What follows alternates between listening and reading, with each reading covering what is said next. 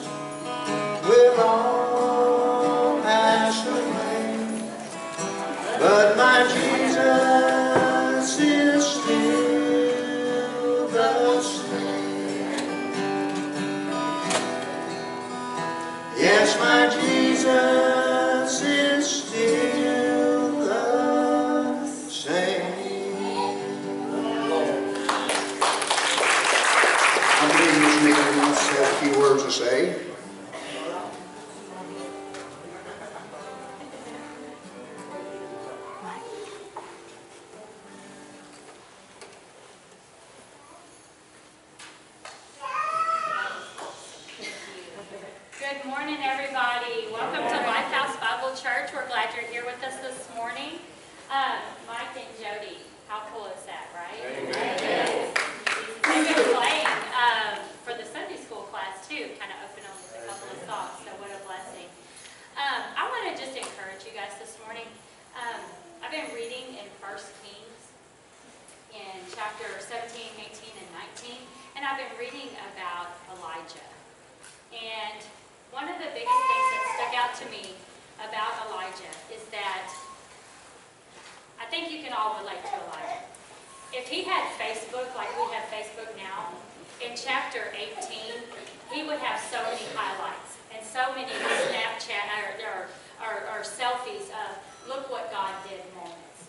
He would have like like when when um, all of the prophets of Baal were just totally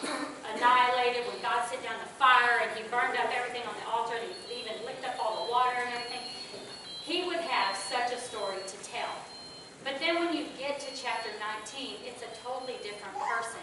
And I'm wondering if maybe some of you are not sitting here this morning just like Elijah, where God has done a lot of really awesome things in your life and he showed you some, some really great truths and he's brought you out of some really dark places. But now, in chapter, in chapter 19, Elijah hears that Jezebel is after him, and he is terrified. He is terrified of a woman. Any of you men can relate to that?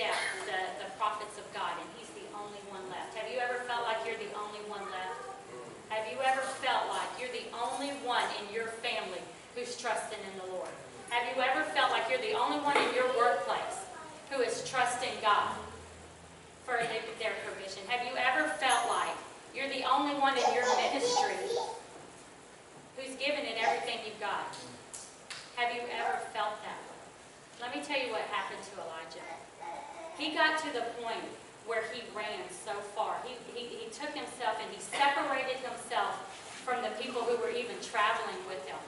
And that's what the enemy wants to do to us. He wants to separate us and do us on our own. But let me tell you what God did with Elijah. Elijah goes out into the desert and he sits down under a, under a tree and he says, Lord, I'm the only one left. I can't do this anymore. I'm so tired. I'm worn out. Just take my life. Just take my life. I can't do this anymore. And I don't know if you're to that point, but I can tell you there's people sitting in these chairs that are discouraged right now with how their life is going. And they're wondering, God, what's going to happen? I just, I just can't do this anymore. And then Elijah falls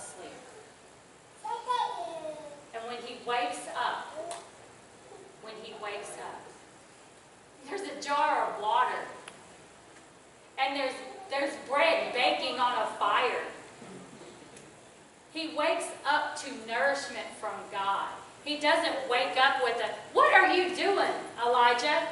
Have I not brought you out so far? Do you not believe that I can keep you going? He didn't wake up to a reprimand. He woke up to encouragement. He woke up to nourishment. He woke up to his God providing everything he needed right when he needed it. So I want to encourage you this morning. If you are like Elijah and you are wondering, God, I just, I don't know going. I don't know if I can keep doing the things that you're asking me to do because I've been praying for that child. I have been praying for that husband. I have been praying for my church. And I just don't see anything happening. God wants to wake you up this morning with a, a jar of water and some fresh bread and tell you, I am your provision. He wants to revive you. He wants to revive you. Will you let him? Open your heart to him this morning. In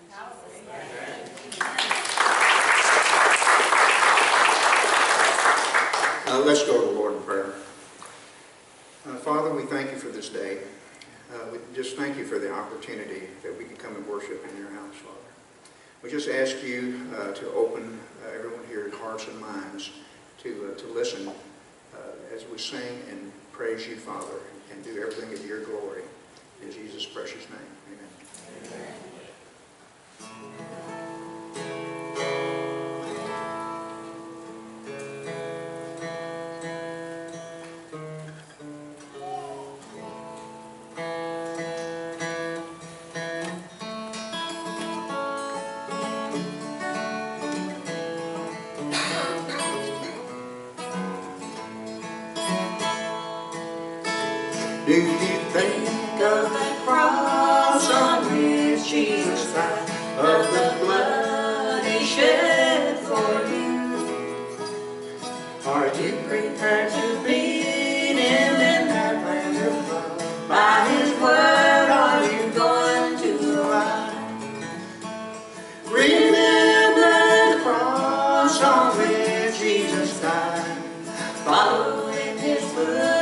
Each day.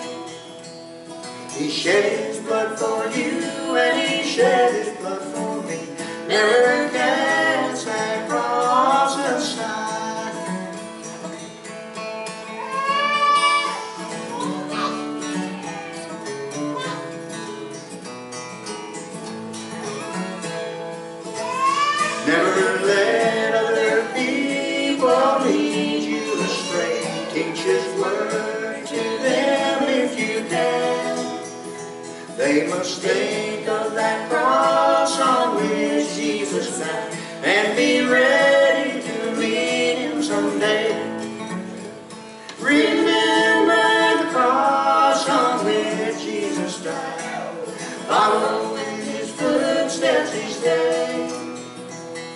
He shed his blood for you and he shed his blood for me. Never cast that cross aside.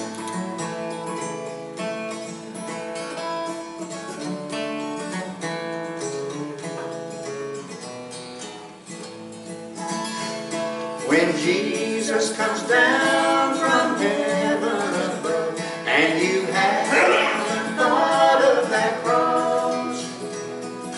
he'll pass you aside in the twinkling of an eye and you won't see his blessed home of blood. Remember the cross on which Jesus died. Follow in his footsteps each day.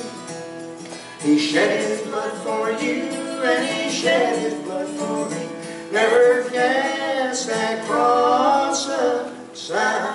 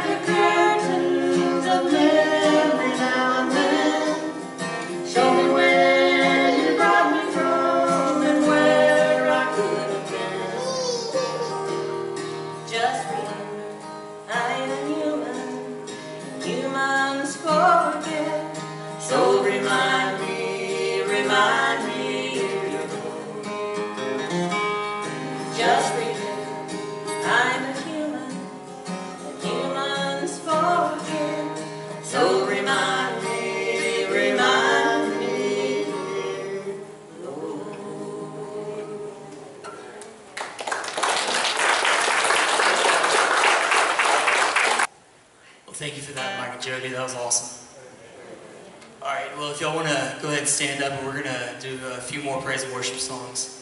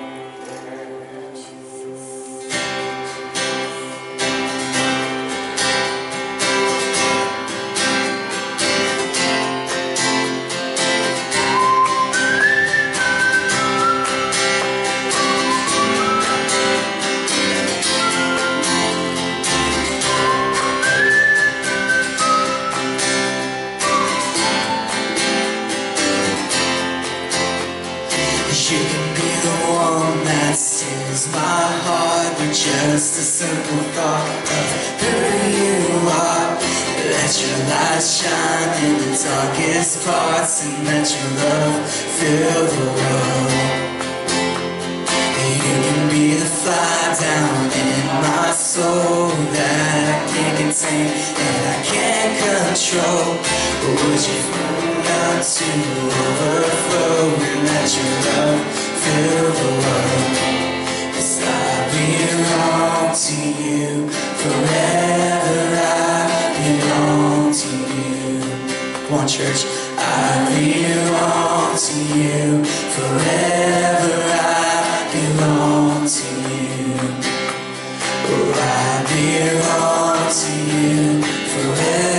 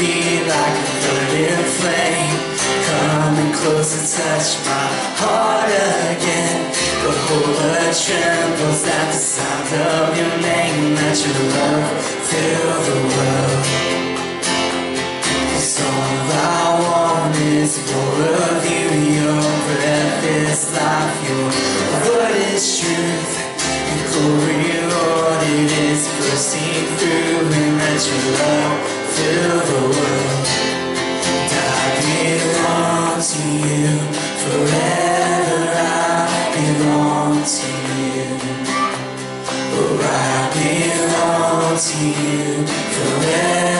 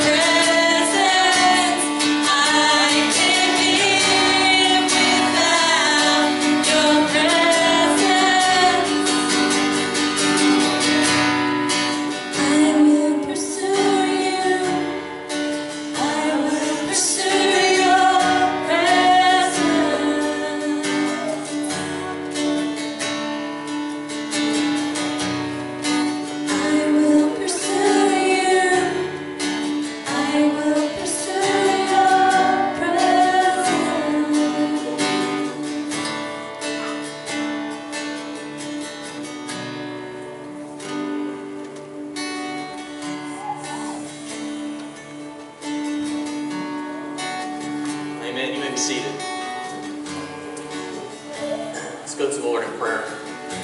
Bow your heads with me. Heavenly Father, we just want to thank you, God, for your presence here with us today, God. God, we thank you, Lord, for who you are to us, Lord. God, for the gift of grace and mercy that you've displayed for us on the cross of Jesus Christ, Lord. God, the forgiveness of sins that we receive, God, when we confess and we approach the throne of grace and mercy, Father. God, we thank you, Lord, that you've called us all here today, Lord. God, to be in fellowship with one another and in, in, your presence, Lord. And God, we just pray that your Spirit would lead us in all things, Lord. God, that you would be with us, Lord, to open our hearts, God, to your word, Father, that we may not only be hearers of the word, but doers of the word, God, that we would apply it to our lives, Lord. God, we pray that you would use this little church, Father God, as a beacon of hope and light here in this community, Lord. And, and God, that we would be salt and light, Lord. Your word tells us that we are the salt of the earth, Lord, and the light of the world, Father God. God, help us to, to be that, Lord, within this community, Lord. God, I pray for the offering this morning. God, I pray that you would bless it, multiply it, use it to your glory, God, uh, for your for your purpose, for your reason, Father God. Lord, I pray for wisdom and direction, Lord, as we seek to, to do your will here, Lord. Uh, for the leadership involved in all of this, God, I just pray, God, that you would give us wisdom and direction, Lord. We're nothing without you, Lord. God, we seek to follow you, Lord, not to get ahead of you or lag too far behind, God. We want to be with you where you're at, doing what you called us to do, Lord. So, God, we just lift you up today. We give you all praise, honor, and glory. In the name of Jesus, we pray.